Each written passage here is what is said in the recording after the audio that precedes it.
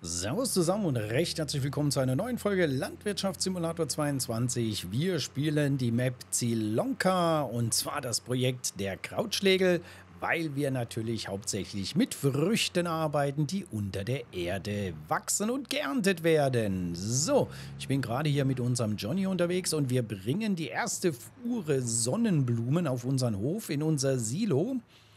Und äh, wenn ich danach wieder zurückgefahren bin, dann zeige ich euch kurz, was äh, wir heute noch alles machen werden. Beziehungsweise, Überraschung, Überraschung, ich habe dann doch noch was gekauft. So, aber jetzt damit erstmal wieder zurück zum Feld, zu unserem Topliner, der unterwegs ist und äh, für uns Sonnenblumen erntet, nachdem ich ja jetzt dann doch mit dem Topliner zum Händler gefahren bin und das Gebiss geholt habe.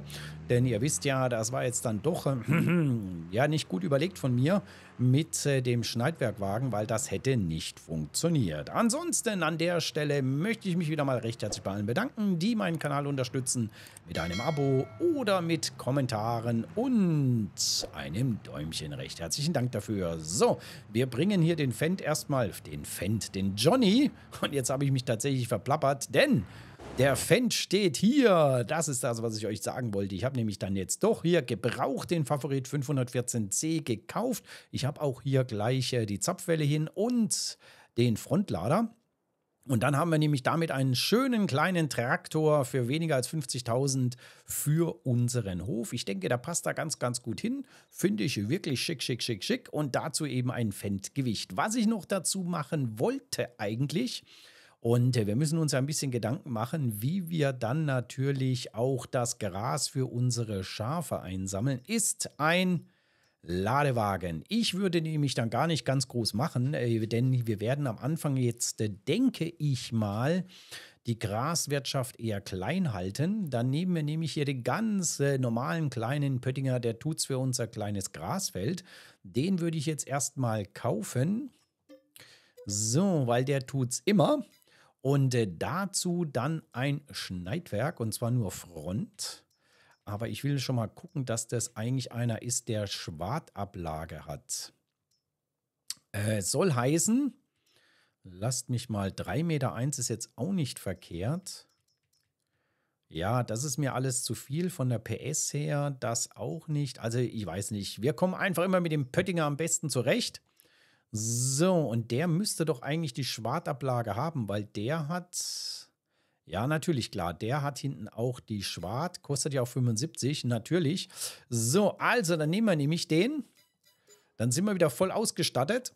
Und das müsste eigentlich so funktionieren, wie ich mir das doch denke. Das Gewicht lassen wir erstmal hier. Das brauchen wir nicht. Das können wir dann das nächste Mal mitnehmen. So, Dele.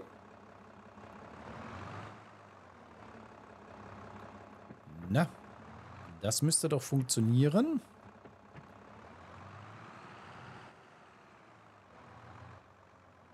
So, dann machen wir nämlich, wie gesagt, gleich die Schwarte und sammeln die dann nämlich auf.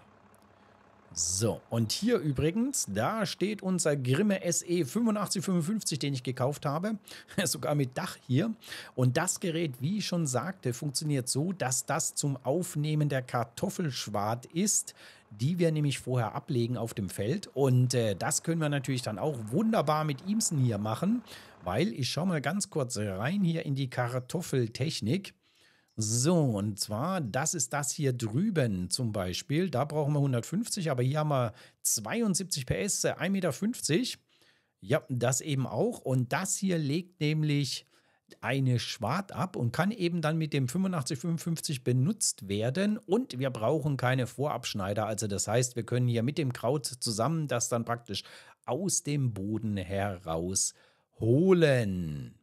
Vorbauschneider, so ist es richtig gesagt. Also das ist die Idee, die dann dahinter steckt und das ist alles überschaubar, auch vom Geld her.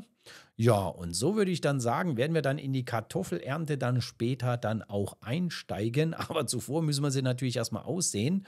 Und äh, das ist eine Sämaschine mit äh, mechanischer Bearbeitung. Und äh, da sind wir bei 60 PS. Das sind 1,50 Meter. Auch das sind 1,50 Meter. Und das wäre wieder eine Erntemaschine. Yep, Also da müssen wir noch ein bisschen im Detail schauen, weil so eine große hier, die braucht dann doch ordentlich PS hier.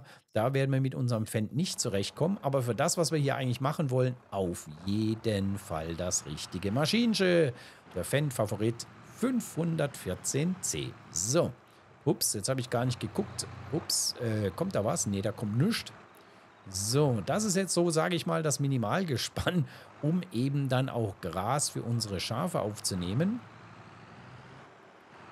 So. Und jetzt haben wir noch 200.000 übrig. Und äh, da müssen wir mal schauen, wie wir dann übers Jahr kommen. Denn äh, wenn wir dann noch tatsächlich in die Zuckerrüben einsteigen wollen, da wird auf jeden Fall die Erntemaschine deutlich teurer. Aber unser Hauptaugenmerk soll natürlich jetzt erstmal auf, die neuen, auf den neuen Feldfrüchten sein und auf die Kartoffelaussaat. Denn äh, ich habe es in der letzten Folge schon gesagt, ich liebäugle natürlich mit der Suppenfabrik. Und dann können wir nämlich Kartoffelsuppe herstellen mit den Kartoffeln, während wir jetzt bei Zuckerrüben ja, ähm, ja, nicht allzu viel so machen können. Natürlich gibt es dann die entsprechende Fabrik, die Zuckerfabrik. Aber in erster Linie, glaube ich, können wir mit den Kartoffeln ein bisschen mehr anfangen. Es wird spannender, weil es gibt auch die Möglichkeit, Kartoffelchips herzustellen. So, jetzt überlege ich nur, sollen wir tatsächlich jetzt schon mal spaßeshalber ernten? Wir haben November. November, ach, es ist ja erntereif. Natürlich, klar, logisch. Da können wir auf jeden Fall später loslegen. Aber ich glaube, wir müssen jetzt unseren, ja, der Fiat, der ist unterwegs und tut hier das Feld grubbern bzw. pflügen. Denn wir müssen die Felder alle pflüchen. Pflüchen, pflüchen. Fahren wir jetzt so rum. Das ist eigentlich eher Kopfsweg gesprungen, ne? Naja, wir fahren doch so rum. Sieht irgendwie doch näher aus. So, denn ähm, wir müssen auch noch Feldarbeit machen und unsere Felder vorbereiten für das nächste Jahr. Und dazu werden die gepflügt. Und da bin ich dann auch schon wieder beim nächsten Thema, denn äh, wer zum Beispiel ja auch unsere wunderschöne Alpenmap verfolgt, der hat ja gesehen, dass ich ja ein bisschen Sorge habe, was die Bodenbearbeitung angeht. Also die Umweltbewertung ist hier äh, ein Thema in äh, Neumini-Brunnen. Da habe ich nämlich ein bisschen Schwierigkeiten mit der Bodenbearbeitung, weil wir kommen da einfach nicht, ich sag mal, über den halben Wert hinaus und irgendwie halt dann nicht auf die volle Punktzahl und 15% Ertragsbonus, so wie wir es zum Beispiel auf unserem Big Farm Projekt haben. Hier in Neubartelshagen. Da komischerweise ist es gar kein Problem. Da haben wir die besten Werte. So, ich will mal, ups, ich will mal hier raus. Dann schauen wir hier nochmal, was wir hier haben. Ja, da müssen wir noch einiges tun, auf jeden Fall. Okay, dann schauen wir jetzt mal, doch, hier war ich richtig. Wir schauen mal Precision Farming, Umweltbewertung. 57. So, hier haben wir jetzt gepflügt. Bodenbearbeitung und interessanterweise haben wir hier schon gekalkt. Und hier haben wir jetzt gerade mal geerntet und gepflügt und haben 76. In Summe sind wir jetzt bei 2% Umweltbewertung. 2% steigert, steigert es also unseren Verkaufspreis.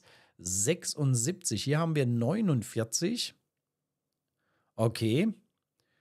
Und äh, das ist das nächste Feld, was wir jetzt ernten werden. Hier sind noch Sonnenblumen drauf. Und das Feld hier oben habe ich auch noch gekauft. Da haben wir nochmal Soja. Da habe ich mittlerweile auch schon das Schneidwerk umgesetzt. Und äh, ihr seht, es gibt also jede Menge zu tun und deswegen glücklicherweise auch schon einen dritten Schlepper. Gut. Aber wie gesagt, das müssen wir ein bisschen im Auge behalten. Wir sehen es auch hier schon wieder. Ne? Unten, der unterste Wert ist die Bodenbearbeitung und da sind wir auf, nur auf dem halben Balken. Ja. Also da bin ich mal gespannt, wie sich das hier entwickelt oder ob wir hier genauso hängen wie halt eben in Neu-Minibrunn. So, ich würde sagen, wir gehen direkt in den Drescher. Tanken ab. Nee, Quatsch, wir müssen ja gar nicht abtanken. Wir bleiben ja bei Soja. Äh, Quatsch, bei ähm, Sonnenblumen. So ist richtig. So. Weil dieses Feld gehört uns ja auch noch und äh, da werden wir jetzt auch erstmal ernten.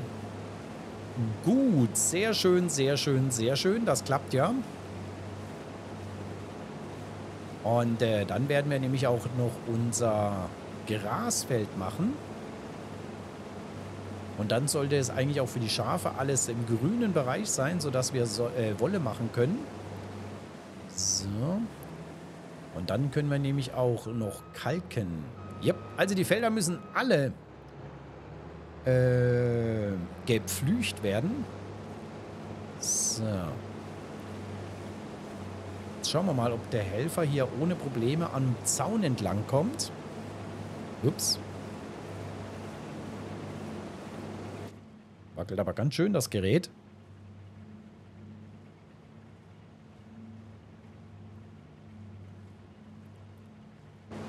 So. 57. So. Ja, er pflügt wunderbar. Und dann können wir hier mit ihm ja erstmal umsetzen, mit dem John.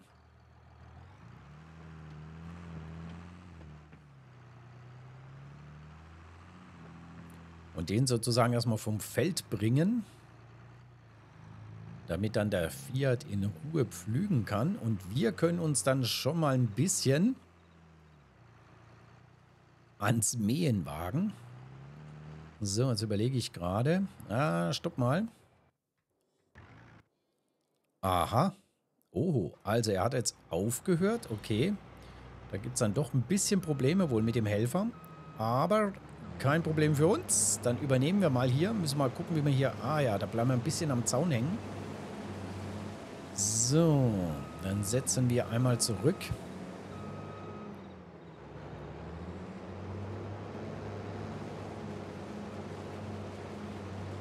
Dann setzen wir einmal zurück.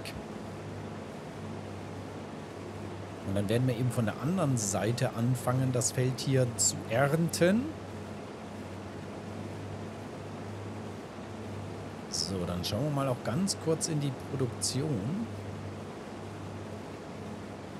Ob wir da noch rote Beete im, am Start haben und produzieren. Unsere Konservenfabrik soll ja nicht leer laufen.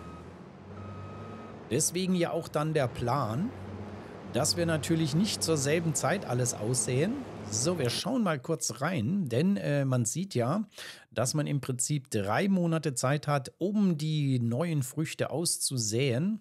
Jetzt gucke ich gerade mal, wie es bei Kartoffeln aussieht. Kartoffeln gehen gleich mal im März raus und äh, Zuckerrüben wäre genau das gleiche.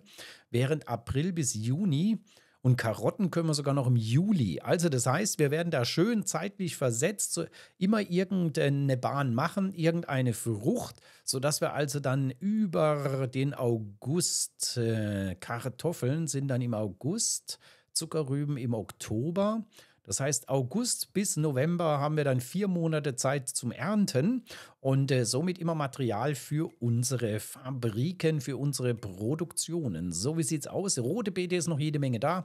Sehr gut, sehr gut, sehr schön. So, schafft er es? Er schafft es. Wunderbar. Gut, dann kümmern wir uns jetzt mal hier ein bisschen um unser äh, Grasfeld. So, Silage war ja übrigens auch ein bisschen der Plan. Jetzt müssen wir mal schauen. Nee, gell, das, äh, da gibt es jetzt kein... Nee, okay. Also. Dann werden wir hier mal ablassen. Und das auch. Und dann schauen wir mal, ob er das packt. Ja, muss schon ein bisschen Schwung holen, ne?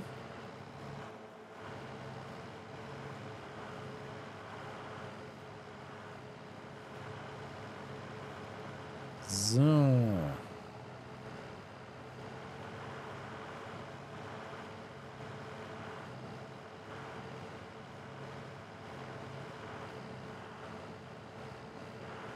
So, dann fahren wir mal hier langsam um die Kurve. Ja, das wird er vermutlich nicht mehr aufnehmen. Die Frage ist nur, kann dann auch hier der Helfer arbeiten?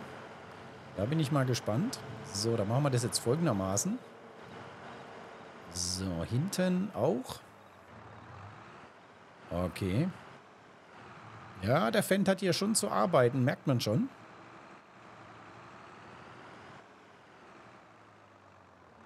Okay, so.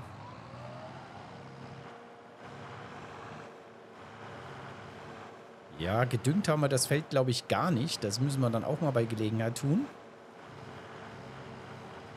Äh, ist natürlich klar, nee. Jetzt hat er hinten gar nicht das Ding runtergelassen. Jetzt muss ich mal gucken, ist denn hier Fruchtzerstörung? Nein, hier ist keine. Okay, da können wir also durch die Wiese fahren ohne Probleme.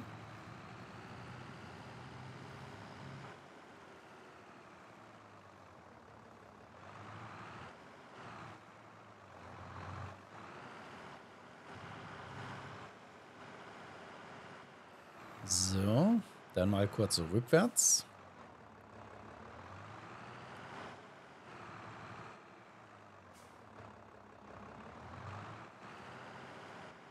So, Lille. Komm schon, spring. So. Jetzt äh, vorne wieder runterlassen. Dann fahren wir mal hier ein bisschen weiter rechts. Und jetzt ist natürlich die Frage, wenn wir jetzt hier den Helfer losschicken. So, diesmal nimmt er hinten auf gleich. Das passt. In 17 km/h, gar nicht mal so schlecht. Die Frage wird natürlich sein, wie jetzt ähm, am Ende des Feldes er hier arbeitet. Ah ja, der tut hinten gar nicht im Ladewagen hochfahren. Okay.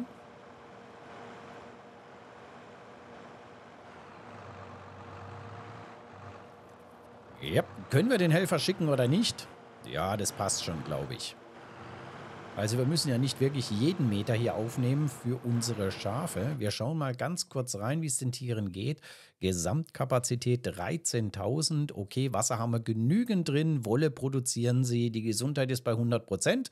Und sie werden sich auch bei Gelegenheit vermehren. Und ich glaube, 80 Schafe passen rein. Okay, jetzt ist gerade ein bisschen blöde. Können wir dich alleine lassen? Wir schauen einfach mal später, was der Fendt macht. So, wo sind wir denn in der Zwischenzeit mit unserem... Oh ja, ihn müssen wir abtanken. Da sehe ich es gerade. Da sehe ich es gerade, dass wir ihn abtanken müssen. Sehr gut.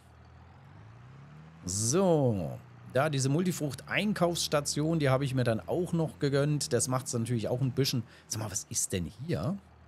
Warum springt denn der immer hier wie wild? Ja, guck's dir an, da ist eine richtige Wulst. Ach, das ist bestimmt hier vom Hof hier, vom, äh, von dem Gedönsen hier, von der Halle, oder? Ja, hier fällt's nicht so auf. Naja, okay. Müssen wir vielleicht mal bei Gelegenheit ein bisschen einebnen.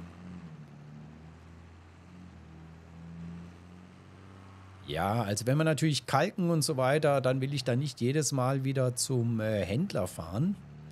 Das macht es uns dann auch ein bisschen leichter. Ist auch ein kleines bisschen günstiger natürlich im Einkauf, das dürfen wir auch nicht vergessen. Und am Anfang, auch wenn wir gut dastehen, weil ich natürlich auch einiges äh, an Sammelobjekten eingesammelt habe, das habe ich euch, glaube ich, auch mal in der Folge erzählt, dass es hier natürlich auf der Map 50 Äpfel gibt, goldene Äpfel, die man einsammeln kann und jeder Apfel bringt einem 5000. Und äh, als ich hier ein bisschen unterwegs war mit den Aufträgen, mit den Nebenjobs und so weiter, und äh, dann bin ich ein bisschen an die, ja, wie man es halt kennt, natürlich an die Produktionen, an die Silos, an die Verkaufsstellen, weil dort in der Regel immer irgendwo dann so ein Sammelobjekt ist. Da habe ich ein paar eingesammelt, ich glaube so 12, 13 Stück oder 14. Hat auch ein bisschen Geld ins Portemonnaie gespült, sodass wir dann auch hier ordentlich mit einem Fuhrpark eben anfangen können, um hier auch ordentlich dann in die Produktion gehen zu können, damit wir hier eben auch ein bisschen vorwärts kommen hier auf dieser Map in unserem Projekt der Krautschlegel. So. Wie weit ist er denn? Jo, er macht hier wunderschön, wunder, wunderschön. Mit dem tiefen Lockerer pflügt er das Feld. Schauen wir mal, ob wir in der Zwischenzeit schon wieder was sehen, ob sich was verändert hat. 49. Okay, interessanterweise, vorhin waren wir bei 2% Verkaufspreissteigerung, jetzt sind wir wieder nur bei einem Prozent. Also aus irgendeinem Grund ist das Ganze schon wieder ein bisschen runtergegangen. Ich glaube hier oben, oder war das denn vorher bei 55? Okay, naja, muss halt alles auch mal gedüngt werden. So richtig gehen die Werte natürlich erst dann hoch, wenn man einmal komplett im Prinzip mit dem Feld gearbeitet hat, gekalkt hat, gedüngt hat und natürlich auch Unkraut und alles bekämpft. Jo, und dann gehen die Werte dann langsam aber sicher nach oben. Aber ich will nicht ins Negative, weil sonst müssen wir noch Verzugszinsen oder Verkaufs... Äh, äh, Negativbeträge hier, Strafzölle oder wie man es auch sonst nennen will, bezahlen. Okay. So, 1%. Interessant, interessant. Okay. So, also alle sind unterwegs, alle sind hier kräftig am Arbeiten. Der Fiat Agri ist dabei. So, unser Topliner arbeitet. Dann haben wir hier unseren wunderschönen Fendt-Favorit, der unterwegs ist. Und da machen wir jetzt auch schnell mal ein Thumbnail. Augenblick, Augenblick. So, das machen wir weg. Das machen wir weg. Und er raucht und qualmt und macht und tut unser Fendt-Favorit. So, Freunde, das soll es für die heutige Folge wieder mal gewesen sein. Ihr seht, es geht hier richtig ab. Und die Schwart nimmt er nicht mehr auf, weil er voll ist. Okay, den können wir also jetzt gleich mal wegbringen. Yep. Den können wir jetzt gleich mal wegbringen und unseren äh, Schafen bringen. So viel noch zum Abschluss dieser Folge. Ob das alles so wunderbar klappt, wie ich mir das denke. Äh, da müssen wir jetzt hier so rum. Oh ja, wir müssen ein bisschen aufpassen, wie wir hier dann auch rangieren. Oh ja, da hat es ja schon jede Menge Wolle. Sehr gut. So. Ja, ist natürlich nicht allzu groß hier, der Pöttinger, ne? Ist klar, das sollte auch reichen, aber ist ja auch nicht das Problem. Dann fahren wir halt später nochmal rüber und sammeln. So, wir müssen natürlich hinten aktiv sein, sonst wird der Trigger, das Trigger, das Entladesymbol nicht kommen, so wie es jetzt eben der Fall ist. So, huch.